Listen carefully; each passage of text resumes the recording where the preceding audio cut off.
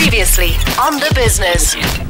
All right, so uh, we have been talking about small businesses all of this week, and I thought it might be a nice, uh, nice angle uh, to uh, to have a chat to somebody who's involved in a mobile food business, uh, because they're popping up all over the place. And when I say mobile food business, I'm talking about a mobile kitchen, something that you can drive to a place, and then you can cook some food and sell it to uh, to people who are walking past, perhaps are at an event, and it's becoming big business. It's starting to become quite competitive as well. It's not just burgers and perhaps some hot dogs that you're talking about either, but some rather uh, more flashy food as well. We've seen a lot of them pop up in Europe. We've seen a lot of them pop up uh, in the United States. Now in Cape Town as well, uh, they're starting to make an appearance, and of course in Gauteng. So uh, let's uh, let's turn our attention to the phones now. Joining us uh, from Balkan Burgers is Bojan Ivanovic. First of all, Bojan, thank you very much for joining us on the show this morning. Welcome to the business.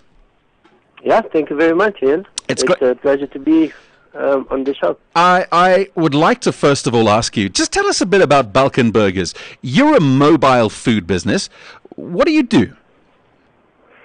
So uh, Balkan Burgers didn't start as a as a mobile food business. We started as a kind of a casual market setup uh, each Saturday uh, in town at the Neighbourgoods Market in Braamfontein, and then um, we kind of um, expanded into this mobile mobile business. It was just the right kind of step forward for us to take rather than having a, a brick and mortar shop. We decided to go um, into mobile. And yeah, Balkan Burger is pretty much a traditional Serbian um, styled hamburger, um, which we reinvented and redefined a little bit. Mm-hmm. Uh, we use these long rolls. We have this unique fold over technique. Um, we don't use ketchup, mustard, or mayo. We have our own sauce, and yeah, it's a bit different and very tasty, and people love it. You're making me hungry just talking about this, uh, Bojan. So I'm going to have to get off the topic quickly, otherwise you might find that this interview is cut short while I go and find something to eat. Uh, no, it's fine. We can always come with our burger box, man, and, and, and, and, serve some burgers. You know. Absolutely brilliant. Now, listen, you you started at the Neighbourgoods Market. That is a, a, a truly successful place to be. Uh, I mean, it's it's a foodie heaven, if you like. Uh, a lot of people know that they're going to get some great food food there. Uh, from there, you obviously spotted a gap in the market. Now, this is what I'm particularly interested in talking about because small food businesses are popping up on wheels. Uh, and they're starting to make their way to places which are busy during lunchtime and sell food to uh, to the passing trade. What have you done with your mobile food business?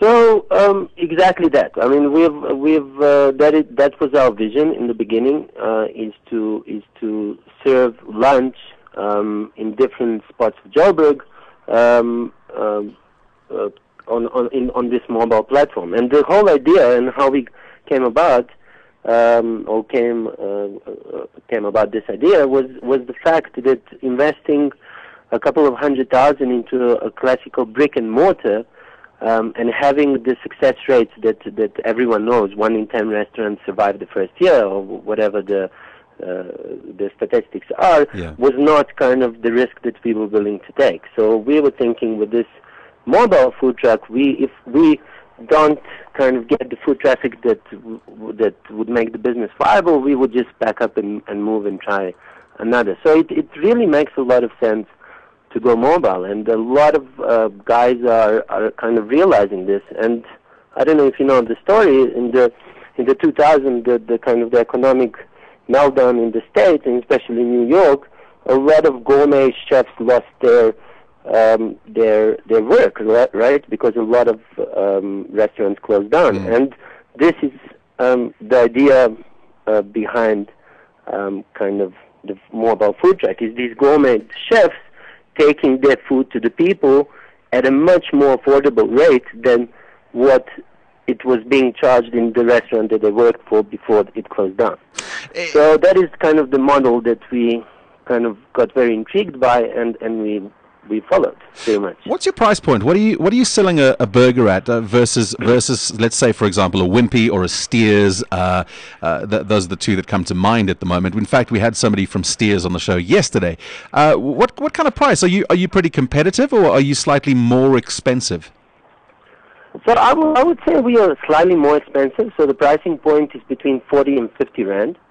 but I think our quality um, is, is is kind of justifies that pricing point because we do all our um, uh, mincing ourselves, the Mm. bread, the the sauces. I mean, there's a lot of effort behind the, the scenes that goes into creating this burger. We we still don't have kind of the the the, the big production lines that these these guys have, and once we do, we will definitely bring the price down. But for now, the pricing point is r- a little bit more than than what um, your fast food stores uh, charge. Yeah.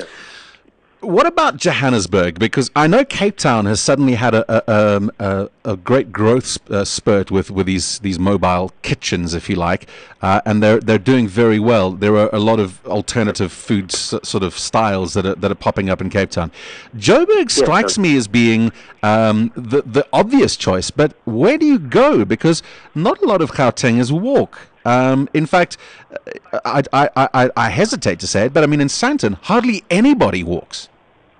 Yeah, um, true. So we, we are finding that very difficult. I mean, that is kind of something that we are we are we are making it up as we go along. Kind of that's Yeah. what we call it internally.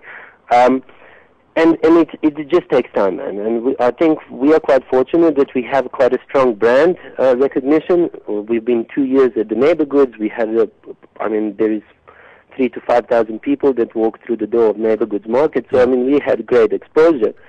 Um, but I mean, someone who is perhaps thinking about this would it, it it's very hard to to kind of build it up. And I think there are two models. There is the model of of the your classic New York food truck. You follow it on Twitter, and then we kind of tell you where we will be on on certain days. Yes. And for that, you need a very very huge following um, on your Twitter accounts and kind of on on your social media. So you need to be very active on those um, on those uh, channels, right?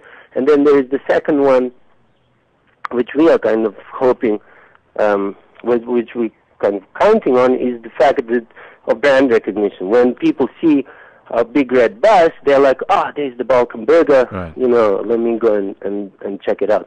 But yeah, I agree with you, man. It's it's very difficult. It's much more difficult to break into the street vendoring in in Joburg than it is in Cape Town, uh, especially because of of the sheer size of this place, of the JMPD, of the bylaws, and and and other kind of administrative hell that that people need to go through, as well as kind of attracting the the people. But I think it's a it's a it's a it's a it's some lessons that we we want to share with other people, um, kind of so they don't have to pay for the same schooling fees as what we have paid uh, Well, in well, the past well let's. Yeah. let's talk about that because that is that is an interesting point. Uh, I'd like to find out more about what you what what you actually had to do to set something up. What what what car, what van do you use? How do you make a kitchen inside there? What does it all take? Yeah, so there, that's quite an interesting story. Um, we kind of had, um, when I say we, I co-founded this business with my sister. Um, so my sister and I had this idea of what our food trucks should look like, right? And it, it, it's we kind of based it on on your classical uh, New York styled uh, food trucks, Yeah. kind of those postal vans, like quite squarish and Mhm. and so on. Mhm. And it was a really big mission, first of all, to find a vehicle. And we it took us nine months, pretty much, to find um, this. And on the day that we kind of decided, no, this is hopeless, we will never find what we're looking for, let's just go with a Mercedes Sprinter or a Iveco, we kind of found online exactly what we were looking for, right? Uh, which was in Upington. So, I mean, first of all, you need to find the right vehicle, and the the vehicle, depending on what you want to do, could be from I don't know a couple of square meters to to a couple of tens of square meters. Ours is um, three by two, so six square meters inside them. I mean, so it's it's it's quite um, it's quite spacious, right? And then the second thing was was converting this into a kitchen. Not a lot of people um, kind of do these things. There is a lot of uh, customized food um, trailers that you can get. And um, after speaking to a couple of people, we just decided to do it ourselves. I mean, Right. what what how hard is it to install a kitchen, right? well, that that proved very hard, I mean, especially in, in six square meters, Yeah, right? yeah. Um, so we did a lot of uh, design. So it took us about seven or eight weeks actually to do design in AutoCAD. We simulated different kind of scenarios within the kitchen where what should be. We changed it around, and then after the design, it was it was time to implement. Um, so we we found uh, stainless steel uh, providers, we found laser cutters, we found all these guys that we kind of tapped into to to help us realize our vision. Um, luckily, we had everything in 3D in AutoCAD, so it was quite easy for them to um, kind of um, just cut to specification and then for for us uh, to install. But I mean, when I say quite easy, it, wa- it it really it really took some time. I mean, It uh, does sound like a a millimeter Yeah. in this in this kind of environment count counts a lot. It So sounds like a of long process. It really does. it was, yeah. Yeah. Totally, man. It's, and it was an iterative process. I, I think, besides the point that we designed and thought about a lot of things, even when we hit the streets on the first day, we found that a lot of things didn't work out. Sure, so we had sure. to go back, kind of uh, adjust the, the the kind of the the inside. I mean, f- a simple example is that every road in South Africa is kind of slanted Yeah. um, because of the rain That's right. right? That's right. So, Yeah. so if you park on the on kind of close to the pavement, your bus will lean to one side. I mean, that Uh-huh. is a classical thing that we didn't take into consideration. And stuff is flying out of the windows, and it was just a disaster, right? So it, it it's a very kind of long design process, but I mean, at the end, we we kind of uh, succeeded. I mean, and we have a, a quite a efficient, nice little mobile kit. All right, Bojan, unfortunately, time is against us, but that is a great story, and I wish you all the best. I, I, I, I personally hope that uh, that we see more of these of these food vendors, and that we see more more uh, inventive types like you coming up with uh, amazing concepts and uh, and doing some more great stuff. Uh, just quickly before we go, so that we can uh, know where to get a hold of you. Are you on Twitter? Do you have a website? What's the story? Where can we Yeah, find yeah. you? We are totally active on all social media channels. So on, on Facebook, you can find us at Balkan Burger Bar. That's B A L K A N Burger B A R. Balkan Burger Bar. And on Twitter, the same Balkan Burger Bar or Balkan Burger Bus. So if you are interested in, in finding more where we are, just follow us on Balkan Burger Bus. And then our website is balkanburger.co.za. Excellent. Sounds great to me. Bojan Ivanovic, thank you so much from Balkan Burgers. We appreciate your time today. Good luck with the business, my friend. I hope that you uh, do really well. And I admire your tenacity in, uh, in sloping roads and having to figure out how to cut laser, cut steel, and figure out what car to use and, and all the rest. I hope that it, uh, it, that it pays you back many times over. Thank you so much, Ian. I hope to see you at, uh, at one of our stores, man, soon. I look forward to it. Maybe we'll pop into the Neighbourgoods market. There you go. That is Bojan Ivanovic uh, from Balkan Burgers. You can go check them out on the web, as he mentioned there. This is The Business. It's brought to you by FNB Business Banking. The Business. Weekdays 11 a.m. to 12 p.m. On ballz.co.za. Brought to you by FNB Business Banking.